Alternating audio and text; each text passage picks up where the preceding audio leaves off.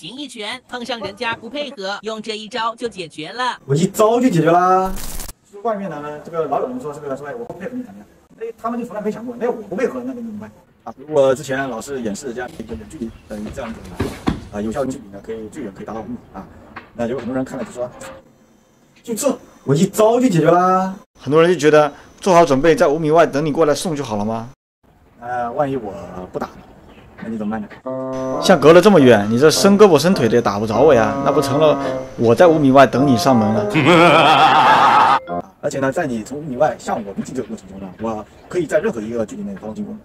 比如等你到两三米了再打，也可以等你到跟前了再发动进攻。总之，可以根据战况随时做出调整。而如果你做不到，离得越远，我的主动权就越大。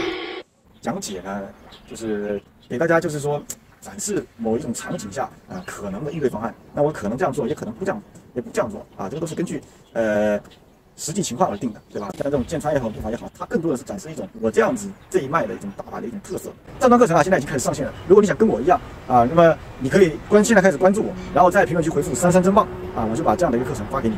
在这么远的这种极限距离之下，它可以做到这样啊。仅仅是一种能力的一种极限的展示啊，但不是说啊，我见谁我就一定要在这个距离内发动进攻啊。类似的还有，你过来我就是一个直拳或者一个摆拳，这在以前的视频都讲解过，这都是把人家想简单了。所以当你对别人说我不配合你怎么办的时候，那有没有想过别人也会对你说一句，那我要不配合你你怎么办呢？